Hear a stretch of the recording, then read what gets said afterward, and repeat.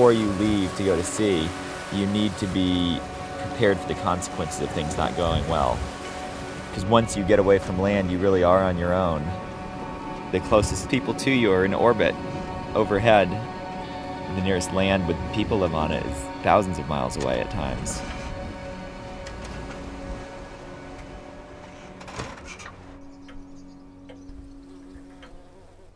Scrimshaw is a name for the art of engraving on the whale's teeth, on sperm whale teeth. Its scrimshaw becomes one of the most important activities on the Azores. These ships they were sailing ships. When there was no wind, they would stop in the middle of the ocean. It was a way of passing the time.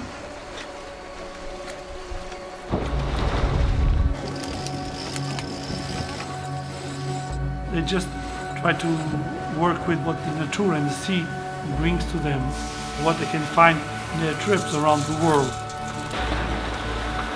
In the middle of these vast expanses, there's still human impact. Even there, where the closest people are in a space station, there's rubbish from us on shore.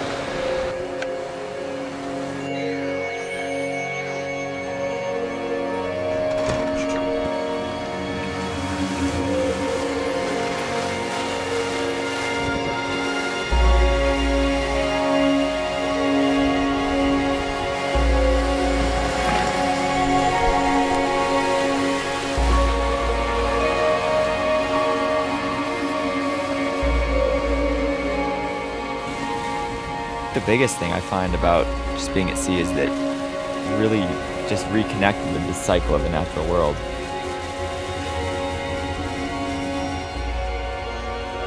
If you're out in the middle of the ocean by yourself, you need to take care of your own problems. Unforeseen problems where you've got to repurpose things. When you don't have anything else to rely on, you end up having to become a little bit more inventive.